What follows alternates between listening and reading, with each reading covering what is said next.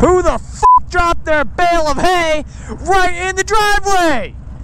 That Bronco was in front of me, Jeep's awkward cousin. I bet every time they have a family reunion, it just walks into the room and yells, shit! Oh shit, that's a blue haired mannequin. I just thought it was somebody standing there with their ass up their ass. Jeff Poosh. More like Jeff Poosh of shit. Elect Ken Cummings. I wonder what he's coming to. Probably coming to his senses that he's a dick. Your driving skills suck worse than fucking Stevie Wonder playing I Spy with his balls. I bet this person pulling into King Corn likes to eat it the long way. If this Ford guy pulls into my lane, you ass! It's not my fault you drive a four-door Ford whore. You don't need to act like it. Now, if this asshole blows smoke on me, I'm gonna kick him right in the testicular glands. Junction 69. Ha! Who brought my ex-girlfriend into the conversation? I hate that bitch!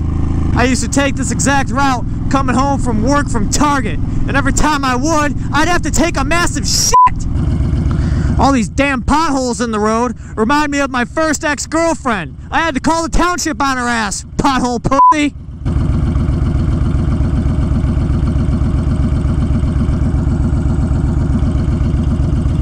This is the longest red light I've ever fucking been at! Holy shit! It's about fucking time it turned green. We're getting on the freeway. Sonic says gotta go fast. And Sonic also says people who don't ride with helmets are total dicks. Road's uneven, I gotta catch my fall before I fall on my dick.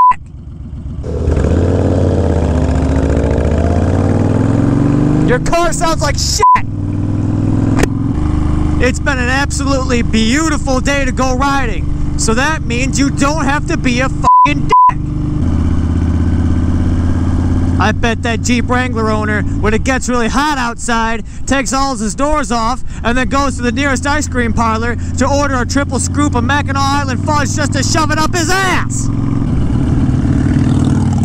I'll admit, that guy had a nice bike, and at least he was wearing a helmet.